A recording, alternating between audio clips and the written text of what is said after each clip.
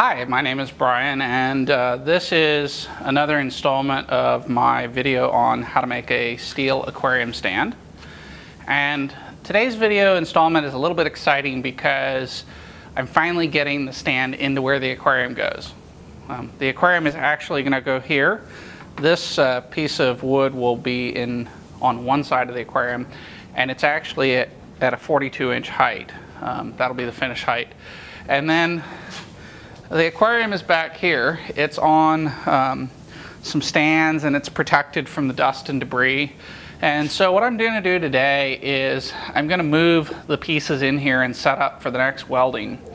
I had intended to do some welding today, but I forgot my jumpsuit at home. Um, every time I wear my coveralls or my jumpsuit, I take it home and I wash it to get all the dirt, sweat, and nastiness out of it. And I forgot to bring it with me. And you know, I guess it's a little funny to call it home because this is our home. Um, but we're living in an apartment. Um, and the reason we're living in an apartment is because the house is just a little on the rough side. And uh, yeah, there's better ways to live. So, what I'm to do is go ahead and set up for this and um,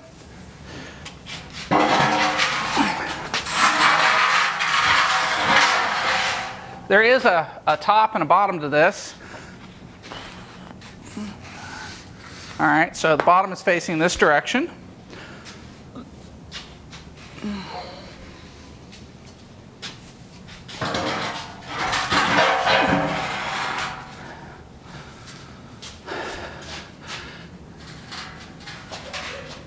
This probably weighs a couple hundred pounds at this point.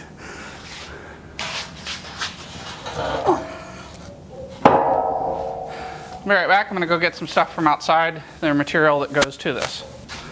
Okay, so at this point I've brought the legs in, and this is one of the six legs. They'll uh, sit on here like this, and they're actually going to be offset from the ends a little bit. Um, it'll just make it easier to do this, and let's see if maybe this end is straight.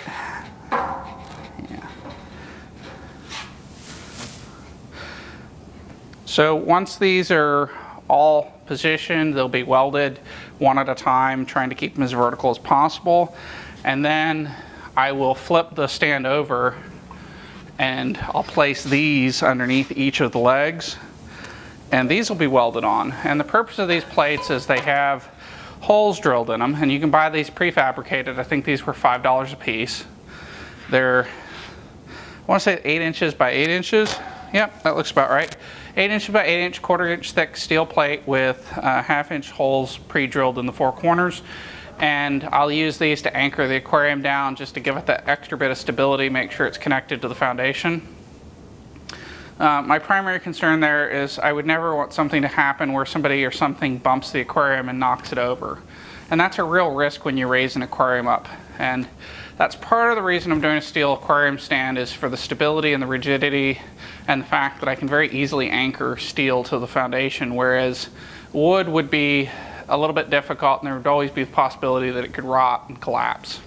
Um, steel can rust, so you know, steel's not perfect, but it is certainly much stronger and much more tolerant of the type of environment that can exist under an aquarium.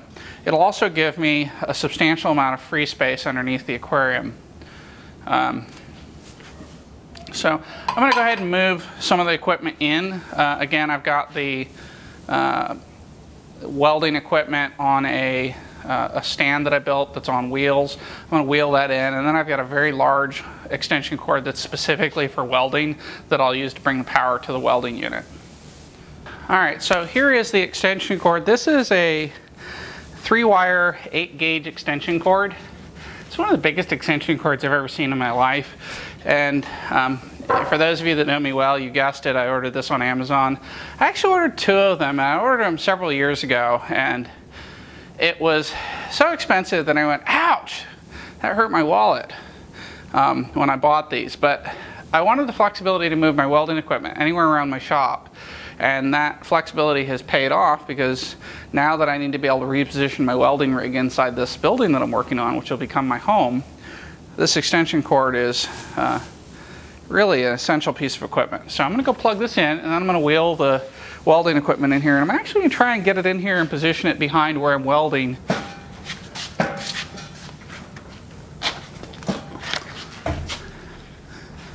This is a fairly tight fit, but I think it'll make it. This is part of the reason the doors are not installed at this point.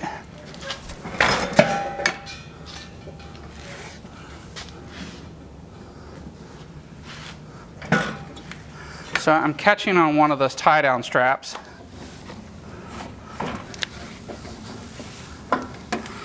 for the equipment that's down below.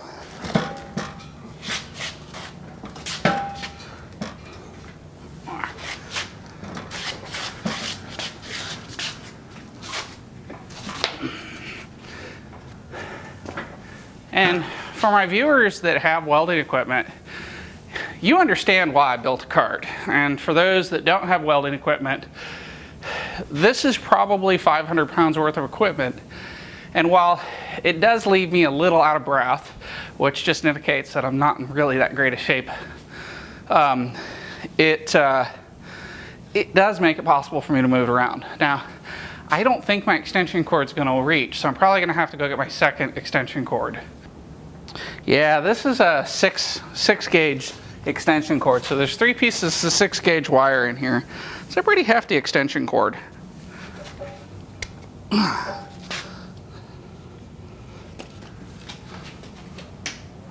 Yeah, okay, so we've got power to that.